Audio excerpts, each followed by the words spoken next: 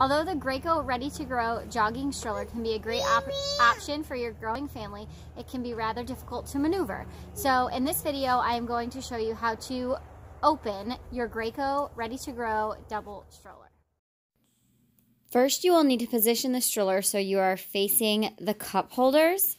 On the left side of the stroller, you will find a large black latch. Simply unhook that latch and then give the stroller a firm shake. You will hear two clicks for the stroller clicking in place. If you're new to the channel, be sure to click the subscribe button below. It really helps me out.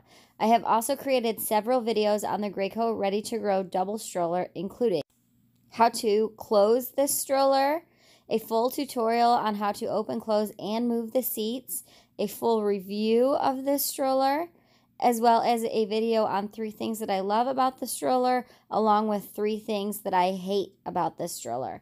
I have also created a series on how this video compares against the Baby Trend Sit and Stand stroller, and if you are interested, I also have an entire playlist on the Graco Modes jogging stroller. Say cheese! No. Are you stuck? Are you stuck? How did you get in there? Uh, say cheese. No. No?